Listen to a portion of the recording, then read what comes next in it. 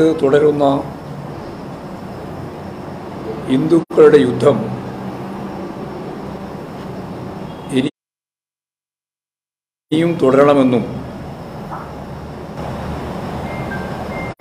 ഹിന്ദുക്കളുടെ ഹിന്ദുക്കളുടെ ഏറ്റവും കരുത്തു ഏറ്റവും കരുത്തുറ്റ ആയുധത്തിന് മൂർച്ചവും സ്വീകരിക്കണമെന്നും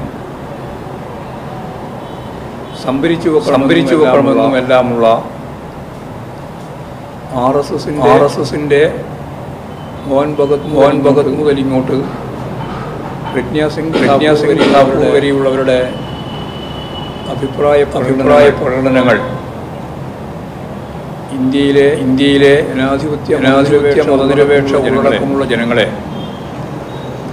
ഭയപ്പെടുത്താൻ ഭയപ്പെടുത്താൻ വേണ്ടി ഉള്ളതാണ്. മതനിരപേക്ഷ മതനിരപേക്ഷതയെ വെല്ലുവിളിക്കുന്ന രഹസ്യമായ രഹസ്യമായ പ്രഖ്യാപനങ്ങളാണ്. ഏക സിവിൽ ഏക സിവിൽ കോഡുമായിട്ട് ബന്ധപ്പെട്ടും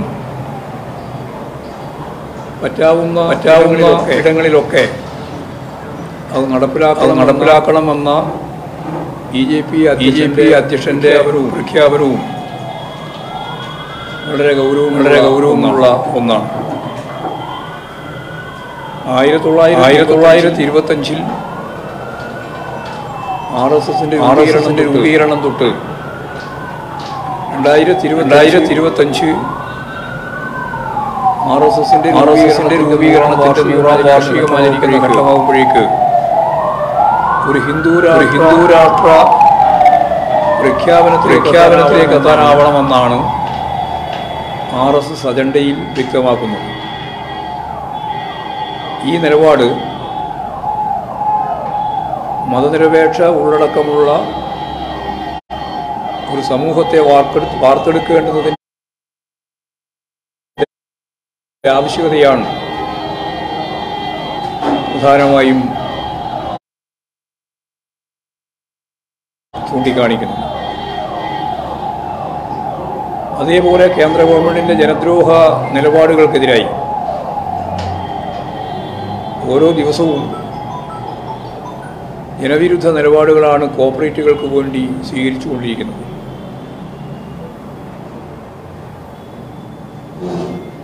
എല്ലാറ്റിന്റെയും വില വർദ്ധിക്കുന്ന സമീപനമാണ് സ്വീകരിക്കുന്നത്. സാധാരണക്കാരായ ജനങ്ങളുടെ ജീവിതം ദുസ്സഹമാക്കുന്ന നിത്യോപയോഗ സാധനങ്ങളുടെ വിലക്കയറ്റം. അതുപോലെ തന്നെ തൊഴിലില്ലായ്മ. ചരിത്രത്തിലില്ലാത്ത രീതിയിലുള്ള തൊഴിലില്ലായ്മയുടെ നിരക്ക് വർദ്ധിച്ചുകൊണ്ടിരിക്കുകയാണ്. പട്ടിണി പാപങ്ങളുടെ എണ്ണം ഓരോ ദിവസം കഴിയുന്തോറും കൂടിക്കൂടി വരികയാണ്. ഫലപ്രദമായ എന്തെങ്കിലും നിലപാട് കേന്ദ്ര ഗവൺമെന്റിന്റെ സമീപനത്തിന്റെ ഭാഗമായിട്ടുണ്ടാകുന്നില്ല ജനവിരുദ്ധമായ ഈ നിലപാടുകൾക്കെതിരായിട്ട് ജനങ്ങളെ അണിനിരത്തുക എന്നുള്ളതും വളരെ പ്രധാനപ്പെട്ട ഒരു കാര്യമാണ്. ഇന്ത്യയിലാകെ മതനിരപേക്ഷതയ്ക്കു വേണ്ടിയും കേന്ദ്ര ഗവൺമെന്റിന്റെ നിലപാടുകൾക്കെതിരായും എല്ലാം നിലകൊള്ളുന്ന ഒരു ബദൽ സമീപനം മുന്നോട്ടേക്ക് വെച്ച് പ്രവർത്തിക്കുന്ന ഒരു ഗവൺമെന്റ് ജനങ്ങളും പ്രധാനമായിട്ട് കേരളത്തിലാണ്. ആ ഗവൺമെന്റിന്റെ നിലപാടുകളെ നയങ്ങളെ കേന്ദ്ര ഗവൺമെന്റിന്റെ ബദൽ നയങ്ങൾ എന്ന രീതിയിൽ തന്നെ ജനങ്ങളുടെ മുമ്പിൽ അവതരിപ്പിക്കുക എന്നുള്ളതും വളരെ പ്രധാനപ്പെട്ട ഒരു കാര്യമാണ്. ഈ മൂന്ന് കാര്യങ്ങൾ കേന്ദ്രീകരിച്ചുകൊണ്ട് ഫെബ്രുവരി മാസം ഇരുപതാം തീയതി മുതൽ മാർച്ച് മാസം പതിനെട്ട് വരെയുള്ള ദിവസങ്ങളിൽ സംസ്ഥാന സെക്രട്ടറിയുടെ നേതൃത്വത്തിൽ വലിയ രീതിയിലുള്ള ജനകീയ മുന്നേറ്റം സൃഷ്ടിക്കാൻ കഴിയുന്ന പ്രചരണ ജാഥ സംഘടിപ്പിക്കണം എന്നിപ്പോൾ തീരുമാനിച്ചിട്ടുണ്ട്. ഫെബ്രുവരി ഇരുപതാം തീയതി മുതൽ മാർച്ച് പതിനെട്ട് വരെ. സ്റ്റേറ്റ് സ്റ്റേറ്റ് ജാഥ. കാസർഗോഡ് മുതൽ ആരംഭിക്കും. കാസർഗോഡ് അതെ. സംസ്ഥാന ജാതിയാണ്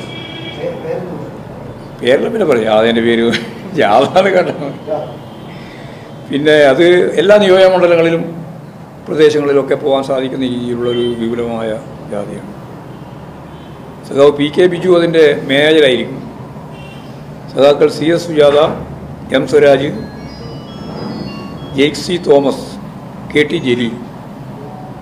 ഇത്രയും സഖാക്കളാണ് ജാഥാംഗങ്ങളായിട്ട് ഉണ്ടാവുക. C S Suja Sujatha M Swaraj P K Biju manager Jaick C Thomas K T Jaleel ഇത്രയും സഖാക്കൾ അംഗങ്ങളായിട്ടുള്ള ജാഥയാണ് ഉദ്ദേശിക്കുന്നത്. വലിയ ഒരു ജനീയ മുന്നേറ്റം. കേന്ദ്ര ഗവൺമെന്റ് സംസ്ഥാനങ്ങളോടെടുക്കുന്ന പ്രത്യേകിച്ച് സംസ്ഥാന ഗവൺമെന്റിനോടെടുക്കുന്ന നിലപാട് ഉൾപ്പെടെ വെച്ചുകൊണ്ടാണ് സാമ്പത്തികമായി ഞെരുക്കാൻ വേണ്ടി നടത്തിക്കൊണ്ടിരിക്കുന്ന നിലപാട് ജി എസ് ടിയുടെ നഷ്ടപരിഹാര തുക നൽകാൻ തയ്യാറില്ലാത്ത കേന്ദ്ര ഗവൺമെന്റ് സമീപനം. കിട്ടിക്കൊണ്ടിരിക്കുന്ന വരുമാനത്തിൽ തന്നെ പത്ത് ഇരുപത്തൊമ്പതിനായിരം കോടി ഉറുപ്പിയുടെ കുറവാണ്. ഇപ്പോൾ യഥാർത്ഥത്തിൽ ഈ വർഷം രണ്ടായിരത്തി ഇരുപത്തിരണ്ട് ഇരുപത്തി മൂന്ന് വർഷം ഉണ്ടാകുന്നത്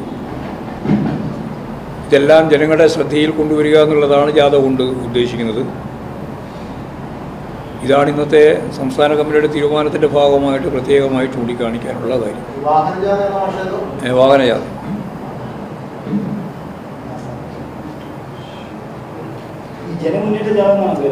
ഇല്ല തീരുമാനിച്ചില്ല ജാഥയുടെ പേര് നമുക്ക് പിന്നീട് കൊടുക്കാം.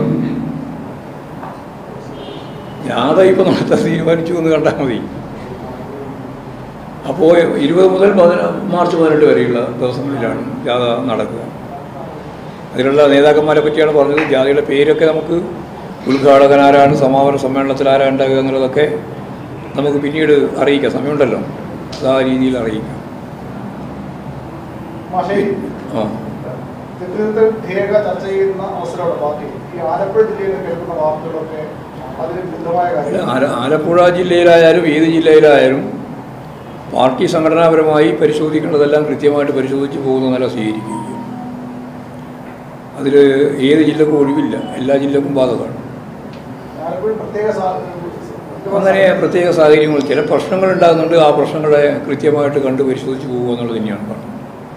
അതുകൊണ്ട് നിങ്ങൾ ഉത്കണ്ഠപ്പെടുകയൊന്നും വേണ്ട ആശങ്കപ്പെടുകയൊന്നും വേണ്ട കൃത്യമായിട്ട് നിലപാട് സ്വീകരിച്ച് പാർട്ടി മുന്നോട്ടേക്ക് പോകും അല്ല, സാധാരണ കേട്ടുകേൾക്കുന്ന കാര്യമാണ് കാര്യങ്ങൾ കേൾക്കുന്നത്. കാരണം സി പി എമ്മിന്റെ നേതാക്കളും അതുപോലെ ഡിവൈഎഫിന്റെ നേതാക്കളും ഒക്കെ സാധാരണ വിട്ടു നിൽക്കുന്നവരത് പൊതു ബോധ്യം സമൂഹത്തിലുണ്ട്. പക്ഷേ ഇപ്പം ആ പൊതു ബോധ്യം ആ പൊതു ബോധ്യം തന്നെയാണ് പാർട്ടിയുടെയും ജനങ്ങളുടെയും മുമ്പിൽ യഥാർത്ഥത്തിൽ കൈകാര്യം ചെയ്യാൻ പാർട്ടി ഉദ്ദേശിക്കുന്നത്.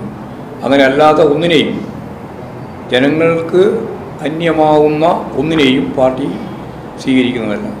അതൊക്കെ തിരുത്തി മുമ്പോട്ടേക്ക് പോകാൻ ആവശ്യമായ നിലപാട് പാർട്ടി എന്ന രീതിയിൽ കൈകാര്യം ചെയ്തു പോകും പക്ഷേ അവിടെ ആദ്യം ഏഹ്, ആദ്യം നോർത്ത് ഏരിയ കമ്മിറ്റി പുറത്താക്കേണ്ട ഒരു നടപടി എടുക്കണമെന്ന് തീരുമാനിച്ചു പിന്നീട് മാർച്ച് പരാതി വന്നിട്ടുള്ള ഇടപെടലാണ് അവിടെ തീരുമാനമുണ്ടായത്. അല്ല കമ്മ്യൂണിസ്റ്റ് പാർട്ടി മേലെ നിന്ന് കെട്ടിപ്പിടിക്കുന്ന പാർട്ടിയല്ലേ? അപ്പോൾ എപ്പോഴാണ് വന്നത് എപ്പോഴാണ് അത് തീരുമാനം വന്നതെന്ന് പറയുന്നതിൽ വലിയ കാര്യമില്ല. പാർട്ടി സംഘടനാപരമായിട്ടുള്ള ബന്ധം കാത്തു സൂക്ഷിച്ചുകൊണ്ട് തന്നെയാണ് പാർട്ടി കാര്യങ്ങൾ കൈകാര്യം മാർഷിൽ അത് മേലെ കമ്മിറ്റി മേലെ കമ്മിറ്റിയുണ്ട് താഴെ കമ്മിറ്റികളുണ്ട്. അവരെല്ലാം പരസ്പരം ബന്ധപ്പെട്ടുകൊണ്ടാണ് ഏത് തീരുമാനമായാലും എടുത്ത് മുമ്പോട്ടേക്ക് പോകുന്നത്. അതൊക്കെ നിങ്ങൾ ഈ വാർത്ത ഈ കമ്മിറ്റിയുടെ ഉള്ളിൽ നടന്ന ചർച്ചയൊന്നും ഞാൻ അല്ല എന്ത് പരാതി? ഒരു പരാതിയും വന്നില്ല. ഇവിടെ ഒരു പരാതിയും വന്നില്ല. അതാ ഞാൻ പറഞ്ഞത് സംഘടനാപരമായിട്ടുള്ള ഇടപെടൽ സ്വാഭാവികമാണ് പാർട്ടി സംഘടനക്കകത്ത്. അതിന് ഇടപെട്ടിട്ടുണ്ടോ? എന്ന് ചോദിക്കേണ്ട കാര്യമുണ്ട്. പഞ്ചസാരക്ക് മധുരം ഉണ്ടോ എന്ന് ചോദിച്ചാൽ വല്ല കാര്യമുണ്ടോ? പഞ്ചസാരയുടെ സഹജ സ്വഭാവമാണ് മധുരം. അത് അതുപോലെ അവിടെ നിന്ന് ഞങ്ങൾ ഇടപെട്ടിട്ടുണ്ടോ. കമ്മ്യൂണിസ്റ്റ് പാർട്ടി എന്ന് പറഞ്ഞാൽ അങ്ങനെയല്ലേ? ഞങ്ങൾ താഴെ തരം വരെ ഇടപെടും. താഴെ തരം മുതൽ മേലെ തരം വരെ സഹാക്കളും പരസ്പരം ബന്ധപ്പെട്ടുകൊണ്ടാണ് കാര്യങ്ങളും തീരുമാനങ്ങളും എടുത്തു പോകുക അതിന് സംശയമൊന്നുമില്ല.